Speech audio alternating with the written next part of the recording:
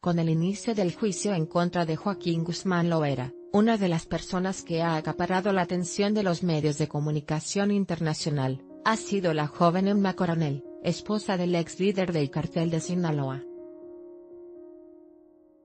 Al salir esta semana de una de las audiencias en la Corte Federal de Brooklyn, Distrito de Nueva York, la prensa trató de obtener las primeras reacciones de Emma sobre el proceso que enfrenta el Chapo.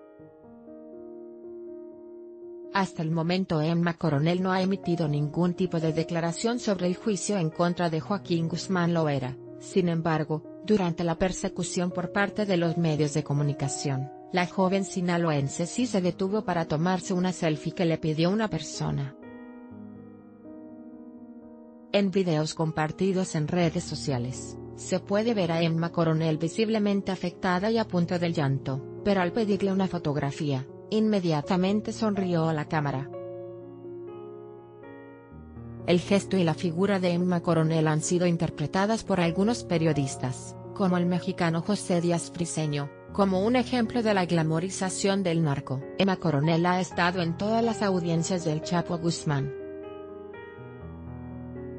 Foto, AFP Las apariciones de Emma Coronel son esperadas en la Corte Federal de Brooklyn, no solo porque es la esposa de Joaquín Guzmán Loera, sino también por las prendas de, de grandes diseñadores que ha llegado a usar en las audiencias previas. Por recomendación de sus abogados, Emma Coronel no tiene ninguna red social, aunque cabe señalar que en Internet hay varias cuentas que se aseguran ser de la esposa del Chapo Guzmán.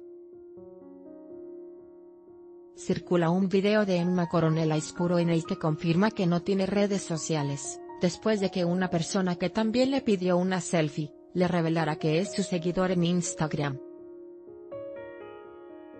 Mientras se tomaban una foto en medio de la nieve, dicha persona le dijo, yo te sigo en Instagram.